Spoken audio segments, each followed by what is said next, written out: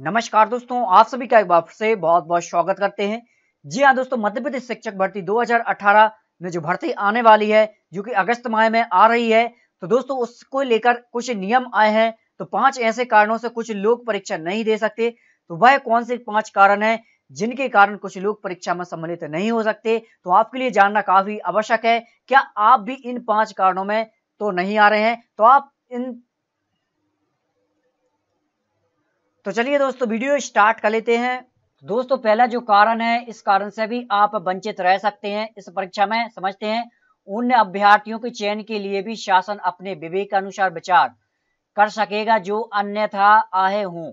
किंतु जिन्होंने ऐसे विदेशी विश्वविद्यालय से उपाधि प्राप्त की हो जो कि शासन द्वारा निर्दिष्ट रूप से मान्यता प्राप्त विश्वविद्यालय ना हो। अगर आपने ऐसे विश्वविद्यालय से बीएड, डीएड या आपने बीए जो कि मान्यता प्राप्त विश्वविद्यालय ना हो, जिनकी मान्यता रद्द की गई हो, अगर आपने ऐसे विश्वविद्यालय से प्राप्त की है, डिग्री तो आप भी वंचित रह सकते हैं। दोस्तों, दूसरा जो कारण है, कोई भी अभ्यर्थी जिसने विवाह के लिए नियुक्त की गई न्यूनतम आयु से पूर्व विवाह कर लिया हो, किसी भी सेवा या पद पर नियुक्ति के लिए पात्र नहीं होगा।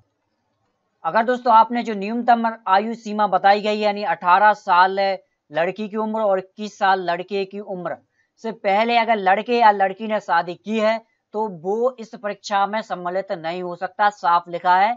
तो दोस्तों, तीसरा कारण जानते तीसरा कारण कोई भी अभ्यर्थी जो कि ऐसे अपराध के लिए दोष सिद्ध ठहराया गया हो, जिसमें नैतिक अधर्मता अग्रस्त हो, किसी भी सेवा या पद के लिए पात्र नहीं होगा।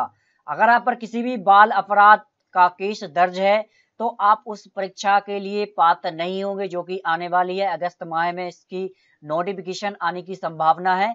तो दोस्तों, चौथा जो कारण है, उसको समझते चौथा कारण है, कोई भी अभ्यर्थी जिसकी दो या अधिक जीवित संतान हो, दो अगर जीवित संतान है, यदि उनमें से एक का जन्म, एक का जन्म 26 एक 2001 को हुआ हो तो उसके पश्चात हुआ हो या किसी सेवा या पद पर नियुक्ति के लिए पात्र नहीं होगा। अगर आपकी दो संतान हो उसमें से एक का जन्म 26 एक 2000 को हुआ हो या इसके पश्चात हुआ हो। तो आप किसी भी परीक्षा, जो आने वाली शिक्षक पात्र परीक्षा है, उसमें सम्मिलित नहीं हो सकते हैं। पांचवा और सबसे बड़ा कारण, अगर आपकी उम्र जो है इक्कीस वर्ष से कम है तो भी आप इस परीक्षा में सम्मिलित नहीं हो सकते। और दोस्तों बी एड डी एड भी अनिवार्य कर दी। यहाँ देखें संबंधित विषय में द्वितीय श्रेणी में स्नातकोत्तर, उपाधि और बी एड यहाँ देखें समकक्ष। बी एड आपको अनिवार्य है वर्ग एक के लिए।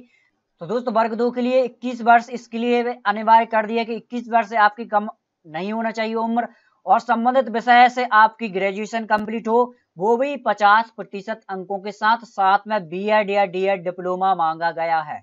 आप काफ़ी लोग कह रहे हैं कि बी एड डी एड अनिवार्य नहीं है, क्या है कि नहीं? तो भाई, यहाँ बता दें, आपको देख सकते हैं आप खुद कि दो वर्षीय डिप्लोमा आपको मांगा गया है वर्ग दो के लिए। वर्ग एक के लिए भी मांगा गया बी एड या एम एड में से किसी एक डिग्री का। वर्ग तीन के लिए बात कहें तो 21 वर्ष से कम आपकी उम्र नहीं होना चाहिए। अगर 21 वर्ष से कम उम्र है तो आप इसके लिए एलिजिबल नहीं होंगे। साथ में कम से कम 50 प्रतिशत अंकों के साथ आपने जो हाई सेकेंडरी परीक्षा है वो पास की हो। साथ में डी एड या बी एड हो। अब काफ़ी लोगों के कमेंट हैं, क्या बी एड चलेगी वर्ग तीन के लिए? बिल्कुल चलेगी। वर्ग तीन के लिए बी एड अनिवार्य हो गई है। जो कि कक्षा एक से पाँच के लिए होगी। लेकिन बी के साथ आपकी ग्रेजुएशन पचास प्रतिशत अंकों के साथ होना आवश्यक है। अगर आप वर्ग तीन के लिए अप्लाई कर रहे हैं डी के साथ तो आपकी हाई सेकेंडरी परीक्षा मांगी जाएगी। और अगर आप वर्ग तीन के लिए अप्लाई कर रहे हैं डी से तो आपकी स्नातक मांगी गई है, जो कि 50 प्रतिशत अंकों के साथ कंप्लीट होना आवश्यक है। तो दोस्तों, ये थी वो जानकारी जो आने वाली शिक्षक पात्रता परीक्षा 2018 जो कि अगस्त माह में आने वाली, इसका नोटिफिकेशन जिसकी घोषणा माननीय मुख्यमंत्री जी ने की है। अगर आपको दोस्तों वीडियो अच्छा लगा है तो प्लीज़ लाइक करें, अपने दोस्तों को ज़रूर शेयर करें। और दोस्तों, अगर आपने चैनल सब्सक्राइब नहीं किया है तो प्लीज़ चैनल को सब्सक्राइब कर लीजिए। साथ में बेल आइकन को दबाइए ताकि लेटेस्ट वीडियो का नोटिफिकेशन आपको सबसे पहले मिल सके।